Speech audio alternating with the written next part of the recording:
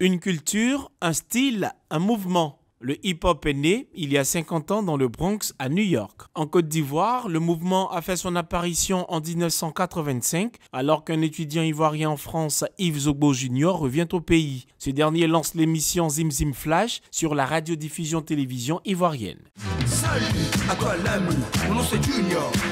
Je suis le DJP.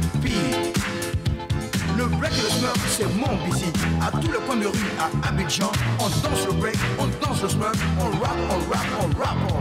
À Makori, à Trècheville, à Adjamé, au plateau, à Yopougon, à Port-Goï, à même